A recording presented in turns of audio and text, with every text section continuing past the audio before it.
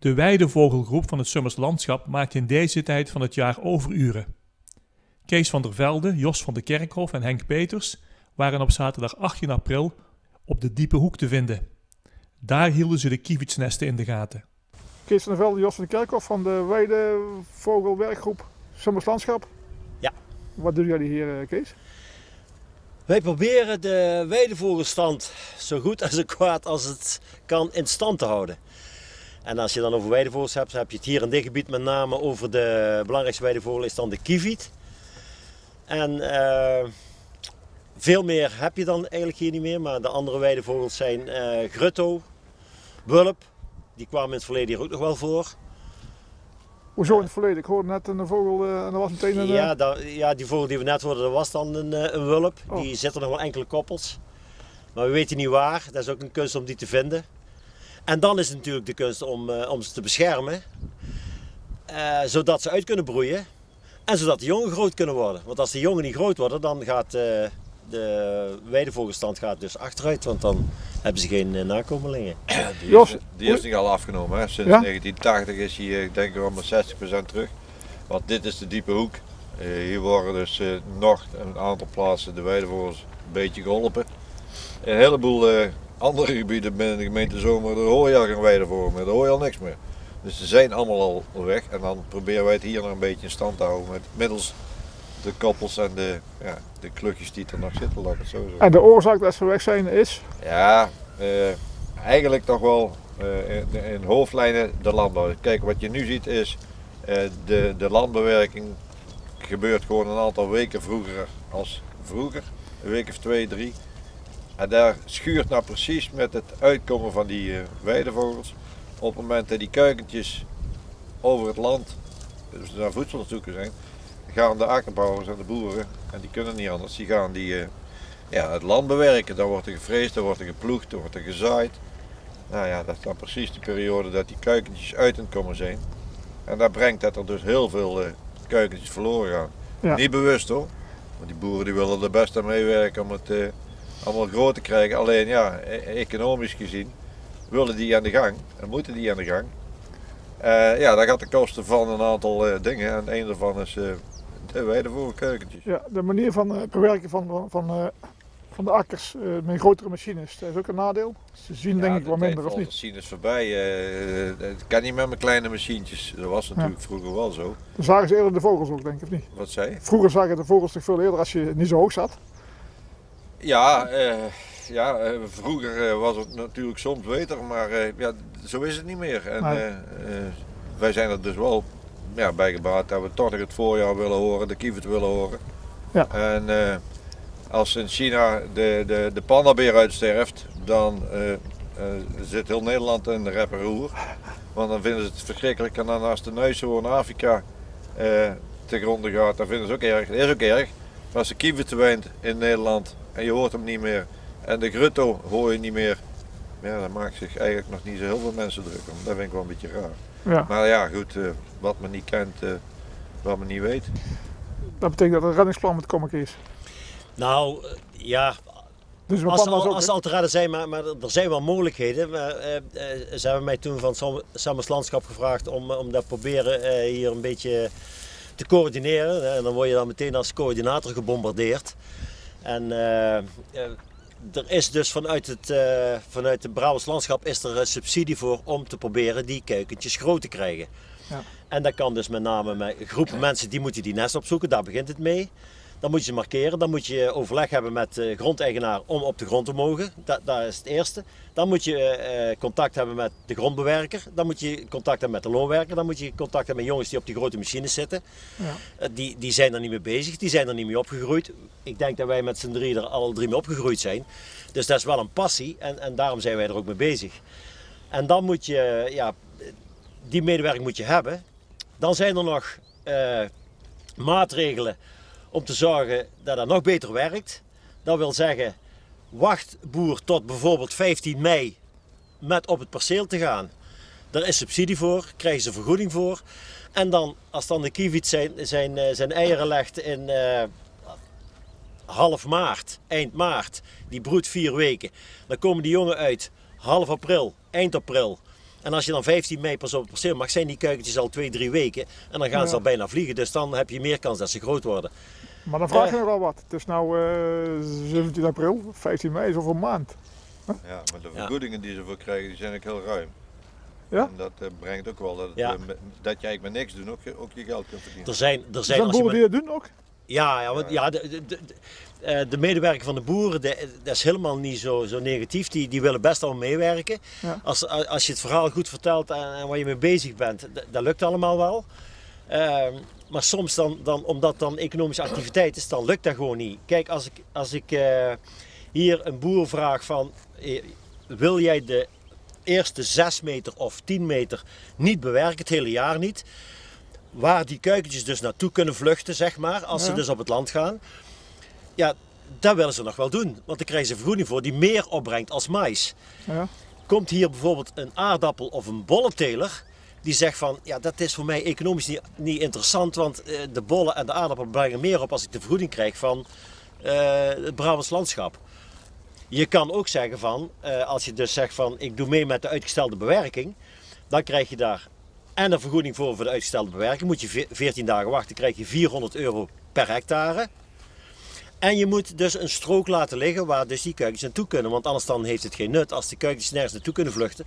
Want iedereen begint ongeveer op dezelfde tijd die akkers te bewerken. Ja. Met name mais, aardappelen en bollen. Het is allemaal kaal en zwart. En de roofvogels en de vossen die zien dat natuurlijk ook. Ja, ja, zo is het nu eenmaal. Dus die kuikens die hebben geen beschutting en geen voedsel. Dus die, lopen op die kale akkers. Ja, dat, is, dat, dat schiet niet op. Ja. Dus, dus het Brabants landschap is er ook al verschillende jaren mee bezig om, om dat te promoten en, en een vergoeding voor te geven. En dan, als de boeren dan meewerken, dan zie je dus ook, eh, we, hebben we zijn al verschillende jaren met die weidevogels bezig. Dan zie je dus ook als zo'n zo'n strook waar de boer dus eh, niet bewerkt, waar dus onkruid, ja onkruid, kruiden zeg ik dan altijd maar groeit, gras groeit, eh, kevertjes lopen, wormpjes in zitten, dat daar die kuikens naartoe gaan. En dan zie je ze dus ook ja, fourageren met een moeilijk woord, zie je ze ook voedsel zoeken. Ja. En dat werkt. Ja. Maar ja, je moet blijven beschermen, want anders dan zijn ze dadelijk weg. Ja. Ja. Ja, het kost veel tijd, energie en moeite, maar het is een passie, een hobby, dus eh, wij Dus, doen dat eh, graag. Ja, maar eh, als wij de v- vogel, of, eh, wij de vogelwerkgroep, hè, je staat nou met een verrekijker, maar volgens mij is jouw taak alleen maar heel veel vertellen tegen mensen. niet? Ja, Vooral vertellen. vertellen. En, en het voorjaar, ja, met name voorjaar is een hele drukke periode. En, eh, dan neem ik ook tijd met mijn andere eh, vrienden, collega's om ze op te zoeken. Dan, dan ben je ook hele voormiddagen aan het zoeken. Maar je moet dus, eh, ja, je wil niet zien hoeveel eh, keer dat ik gebeld, geappt heb met, met die mensen die er allemaal bij betrokken zijn. De eigenaren, de, Ja, je weet ook meteen wa- waar de eigenaren zitten. ja, ik, Ja. ik woon hier eh, in het gebied, dus ik, ik ken de eigenaren. Maar dan moet ik wel weer aan de eigenaar bellen. Jou, wie heeft jouw grond dit jaar? Want dan komt er een akkerbouwer uit de Kempen of uit Limburg. En die heeft dan aardappelen of, of een bollenteler. En dan moet ik daar weer contact mee leggen. En die moet, dan moet ik dat verhaal weer vertellen. Ja. En dan moet ik die nog eh, enthousiast zien te krijgen om mee te doen. Ja. En de, de- die, die, die medewerker is er wel. Daar is helemaal niks mis mee. De Mensen willen dat wel. Ja, kijk, we staan hier op de Groesbaan, eh, Scheidingsweg. eh, Dat is het gebied waar de meeste vogels zouden moeten zitten. Ja, die zitten hier ook wel. Dit is Ja. echt het gebied van... van Ik zie de- tenminste veel kiewits. In mijn ogen zijn er daar veel. Niet of normaal meer. Ja, het is wel wisselend. We, we hebben soms een perceel eh, waar er twintig nesten op zitten. Eh, dat is dan misschien wel een beetje een groter perceel. Maar ja, in het verleden hebben we ook eh, meegemaakt. Uh, hebben twintig nesten. En wij zijn natuurlijk enthousiast, want dat is, dat is geweldig. En dan vind je zo'n nest, dan vind je al geweldig natuurlijk. Het, het is precies hetzelfde als, als mensen die nu in, in de dorpen en de steden wonen. Die dus horen dat er eh, vogels fluiten. Ja, dat, dat is dus dat is toch een, een eye-opener. Ja, zo is dat voor ons dus ook. Ja. En, en, dan, eh, en dan kom je dus een week, twee weken daarna en dan zie je dus dat er geen één ei meer ligt. Dan denk je van, nee god, alles weg. Dat is natuur, maar ja, je, je, moet, je moet de natuur beheren. En als er zoveel vossen lopen en, en kraaien, die je wil niet weten hoeveel kraaien dat er zijn. En die, die willen ook overleven. En die gaan al die eieren natuurlijk eh, uit die nesten halen. Maar daar heb je geen moeite mee, dat is gewoon natuur. Ja en nee.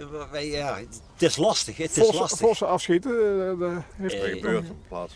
gebeurt. Ja, en dat mag ook. Hè. Ja, Het is, er het is, voor. Komen ook steeds eh, meer. wij- ja, steeds meer vossen. Nou, in zomeren valt het wel mee. Daar hebben ze nogal wat last van schurft. Eh, er zitten eigenlijk niet heel veel vossen in zomeren, op dit moment vind ik. Omdat ze de laatste paar jaren wat last hebben van schurft en dan gaan ze dood. Eh, maar er zijn genoeg gebieden waar de predatiedruk wordt verminderd. Middels vosafschot en kraaien. En, eh, want ze zeggen, ja, we gaan niet al die, al die weidevogels beschermen tegen best wel hoge kosten voor Ja. de provincie. En dan alles op laten eten door vossen die te voldoende zijn. Dus eh daar wordt links en rechts wordt dat wel geregeld. En middels eh, ontheffingen. Ja. Ja. Kees, we, we horen naar de kievit. Nou horen we het alarm van de kieviet. En we hebben ook een jong kuikentje gezien. Dus die geeft alarm aan het jonge kuikentje dat hij eh, zich moet verstoppen eigenlijk. Hè? Omdat wij eraan komen. Omdat wij eraan komen. Wij zijn, eh, Gevaar. wij zijn gevaar, ja. En dat doet hij ook als er een vos is of een eh, roofvogel. En ben je zo iedere dag op pad, Kees, of niet? Nou, nee, niet elke dag, maar ja, als ik s'avonds uh, na het eten dan loop ik regelmatig hier achter de diepe hoek in. Ja, dat is natuurlijk wel mooi. Ja. Dat, is, dat is een mooi, mooi open gebied. Zo staat ook aangemerkt als visueel waardevol open gebied in de bestemmingsplan. Dus dat is wel mooi, ja. Maar eh, in het seizoen met onze groep, eh, twee voormiddagen in de week, een aantal weken lang. Want die tijd heb je nodig om al die nesten op te kunnen zoeken en al die percelen. Want u praat over eh, nou, misschien maximaal 80 tot 100 hectare die, die hier liggen. En dan de kievieten die wisselen ook van, van perceel. Het ene jaar zitten ze op dit perceel, het andere jaar zitten ze op dat perceel. Als er heel veel begroeiing is, gaan ze daar niet in zitten. Omdat ze dan de natuurlijke vijanden niet kunnen zien. Er zijn zwanen die komen steeds op dezelfde plek terug. Is dat met kievits ook niet? Ja, eh, eh, maar die, die, eh, als ze dus dit jaar op dit perceel zitten, volgend jaar staat hier lang gras, dan gaan ze hier niet zitten, want dan kunnen ze de vijanden niet zien. Dan kunnen ze geen kraaien zien, want dan zitten ze helemaal in de begroeiing. Dan gaan ze dus op een ander perceel waar wel. eh, kijk, dit is dus een, eh, een nest waar de eieren nog in liggen. Ah, dat maakt je. Ja. Ja. We hebben die met die bamboestokken gemarkeerd in de rijrichting. Dat ze weten, oh, in die richting. En dan hebben we dus een mandje. Ik kan het wel even laten zien. Eh, Dit mandje hebben we dus, die zijn er eh, voor gemaakt. Maken wij zelf weer een, een, een kuiltje, eier erin, kuiltje in de grond, mandje erin. En die kievit die, eh, die vindt dat prima, maar die gaat weer gewoon op het nest zitten. En je mag bij een kievit mag je ook gerust zeggen van, nou pak ik het mandje op en dan leg ik hem hier neer. Die kievit die gaat met dat mandje mee, met, de- met het nest. Ik kan me herinneren, Kees, dat ik vroeger in mijn jeugd uh, kievits eieren ging zoeken. Die tijd is voorbij, dat mensen dat doen. Ja, dan, Ja, dan dat- uit het dat- nest halen. eh, Mag ook niet meer. het mag ook niet meer, maar dat, dat is natuurlijk not done. Dat, dat kun je niet meer verkopen. En, eh, eh, in Friesland hebben ze nog lang proberen tegen te houden, want dat was traditie en cultuur. Maar eh, ja, ik denk dat ze in Friesland nu ook zo ver zijn dat ze het ook niet meer doen. Dat mag ook niet meer trouwens, dat klopt wat Henk zegt. Ja, al- alles verandert. Ik wil zeggen, 100 jaar geleden was hier nog eh, niks ontgonnen hè, de- van de vorige eeuw. Dit is in de jaren 30 pas ontgonnen, dus toen, toen zag het gebied er ook heel anders uit. Ook dat verandert. Want er waren alleen maar biezen en eh, riet en, eh, en moer, dus ja. En hoe lang blijft die kievit gemiddeld? Hier? Ja, die komt in. eh, wanneer komt die? Eind februari. Eind februari, begin maart komt die. Ja, augustus, Ja. september dan, dan gaan ze. Maar andere kievieten van de noordelijke landen en van, van het noorden van Nederland die komen dan ook weer hier naartoe. En het ligt eraan of, of het een strenge winter wordt of niet. die overwinteren een beetje in Spanje en eh, Portugal en dat spul. Engeland. Ja, Engeland zit er ook wel. Eh, en die broedt 28 dagen, dat is best lang voor een kievit. Vandaar ook dat het eh, ja, best lang duurt voordat hij zijn, eh, zijn eitjes uit heeft. Ja. 28 dagen is lang voor een kievit. Wat je hier ziet is een raster om het hele perceel. Met stroom erop via een eh, zonnepaneeltje met een, met een accu erin. En eh, eh, dit is om te voorkomen dat de vos op het perceel loopt. Een vos die eh, is heel slim en die heeft heel veel tijd s'avonds, s'nachts. Dus die, die, die loopt dat perceel af, want die weet als ik loop en eh vliegen kievits op, dan zit er iets. Dus die probeert dan zoveel mogelijk jonge kievitjes en eieren te, op te eten. Daarom plaatsen wij de raster. Er zit stroom op, die vosje komt er dan niet op. Maar dan moet ik dus regelmatig de stroomsterkte controleren. Want zo gauw als die draadjes dus niet meer vrij van de grond zijn, er groeit allemaal riet tegenaan en gras, dan maken ze aarde en dan valt die stroom weg. En dan gaat die vos er dus wel op. Dus dan controleren we even de stroomsterkte met de voltmeter. Ik zie hier 3.8. Dat is voldoende. Moet minimaal 3 zijn. En maximaal is het ooit 4, 4.8, 5. Die onderste Kees? Oh, die onderste, ja natuurlijk, dankjewel. Ik moet, de onderste is eigenlijk de belangrijkste natuurlijk, de onderste twee. Want als daar geen stroom op staat, Pak hem even vast. dan weet. En een vos is niet slim genoeg om dat te ontwijken. die, die is wel, die, nou die denkt aan zichzelf. vos En zeggen, hè, die- dus ja. hier is het ook 3.5, 3.6. Een vos, is, een vos die, die wil natuurlijk geen stroom krijgen, dus die gaat ergens anders naartoe. Dat wil dus zeggen dat deze nesten beschermd zijn tegen de vos. Nesten weg. En dat is altijd die nesten, die komen ze altijd uithalen op het moment dat die, die vos die hoort die, die jonkies piepen in het ei. Die, piepen. eh, en dat horen die vossen. En daar, eh, ja, daar, daar, daar, daar, ja, die, worden die gepredeerd. En we hebben het wel eens eh, gehad dat het eigenlijk allemaal een beetje weg was. En dat kan dan één vos doen. Vervolgens hebben we van de provincie uit dit raster geplaatst. Vorig jaar bij een perceel, ja, daar was geen vos meer in geweest. Dus eh, ze dat dan wij vosvrij. Ja, dat werkt wel. En, en dit jaar is er ook nog geen enkel predatie op die percelen waar, eh, waar, eh, waar die stroomdraad in staat. Oké. Ja, en deze rasters die zijn dan weer eh, gesponsord door het eh, Brabants Landschap. En dan eh, die, die weidevogelgroepen die eh, denken dat ze die kunnen gebruiken, willen gebruiken, die kunnen ze dan, eh, dan neerzetten. En Ja. dan eh, volgend jaar kijken we weer welk perceel er weer geschikt is. Ja. Maar dat wil dus zeggen, eh, eh, bij dit perceel is dan ook nog uitgestelde bewerking. Eh, hier staat snijrog op. En je ziet het, die is aan het groeien, dus eh, die grond is bewerkt om die snijrog niet te lang te laten worden, dat die kuikentjes ook dadelijk weer over het perceel kunnen. Hier komt ook die, eh, die braakstrook eh, eh, aan drie kanten op het perceel te liggen. was een braakstrook. Een braakstrook is, eh dat komt van, van braakland. Braakland wil zeggen dat je dus geen bewerkingen op, de- Oh, op het land doet. En een braakstrook wil zeggen dat je geen bewerkingen op die strook doet. Dus die, die laat je liggen, eh, zodoende dat daar de kuikentjes naartoe kunnen vluchten als het land wel bewerkt wordt. Ja. En komen nou eh, de kievit hier meer eh, nestelen dan, dan De kievit die kijkt, die kijkt niet of, nou, om dus of niet? of, of er wel of geen raster in komt, Ja. of welke boer wel of niet meedoet. Die gaat dus een perceel zoeken wat, wat hij denkt dat geschikt is. En wij gaan kijken van waar zitten veel kieviten, welke boer doet meewerken. En daar zetten we dan een raster om. Nou, als ik hier de stokken zie, dan valt het wel eh, mee of niet? Eh, dit perceel zaad eh, totaal, moet ik even denken, nu nog zes. Zes nesten. Maar er waren al, net voordat wij de raster geplaatst hadden, waren er al drie nesten leeggeroofd, gepredeerd. Wij denken door de vos. Toch. Dus er zaten er eigenlijk negen en nu nog zes. Kraaien prederen graag de kievitsnesten en eh, dat zal altijd zo blijven.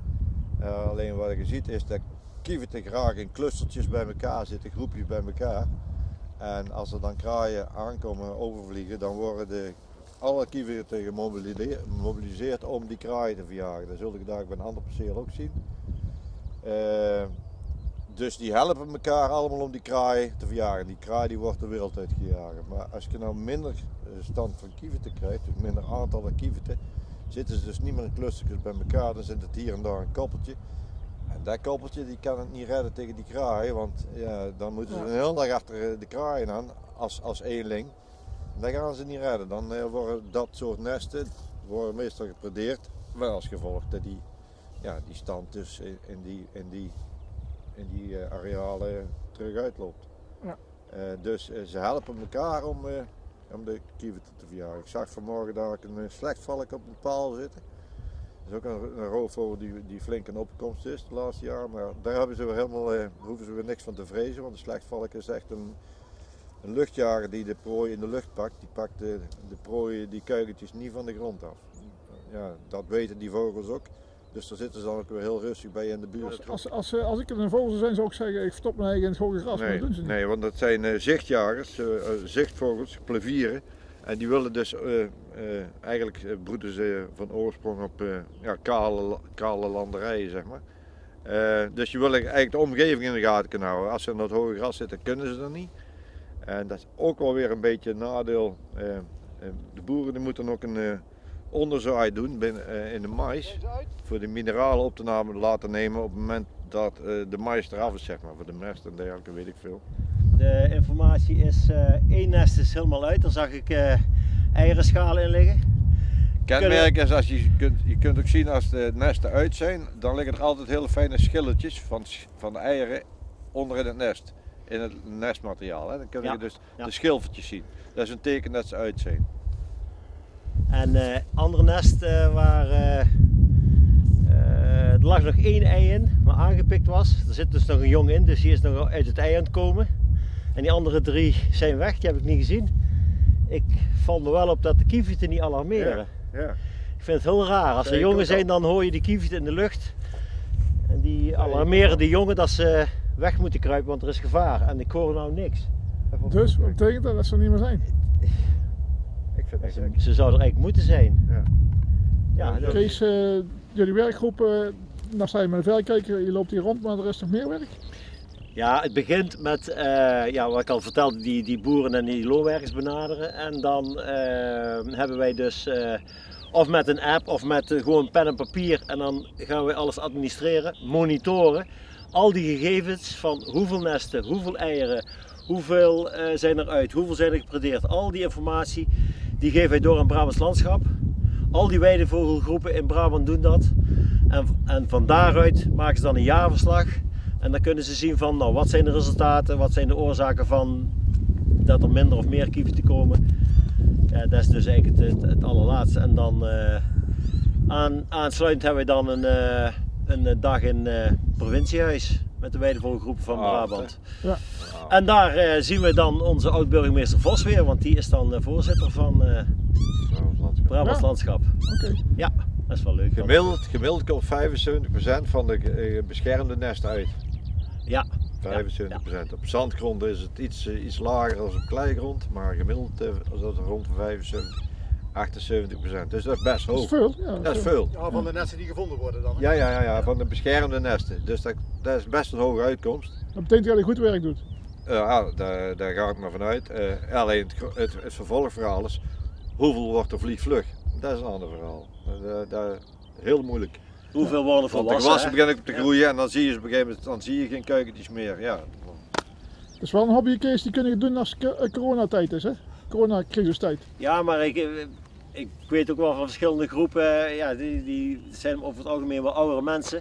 Die zitten dus in die risicogroep die ook al eh, het risico niet aandurven om het veld in te gaan. Oh, En het kan wel, want ja, normaal lopen wij ook altijd eh, een aantal meters uit elkaar. Maar ja, binnen, binnen die groepen zijn ook al een paar eh, mensen overleden, niet rechtstreeks van die weidevogelgroep, maar wat kennissen.